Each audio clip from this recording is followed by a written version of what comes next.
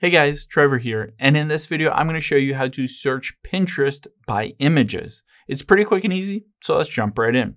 Now, of course, the first step is just to open up the Pinterest app here.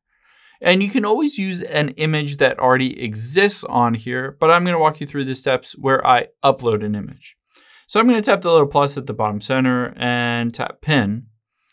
And I will just go through the steps of, let's say I'm gonna find a specific image like this one of the butterfly and hit next.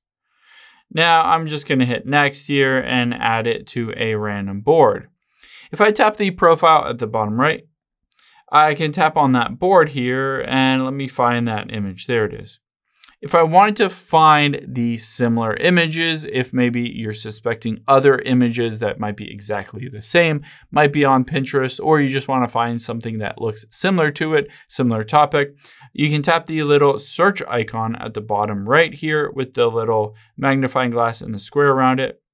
And it will basically zoom into whatever you want. So I can say if I only wanted to focus on this specific butterfly, I can just do that.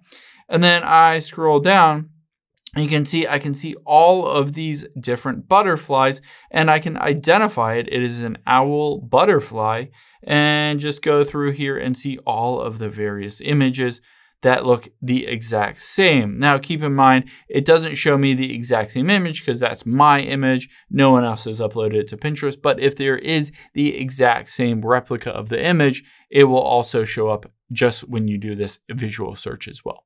Hope this helps. If you have any questions on that, leave them in the comments down below, and I'll catch you on the next one.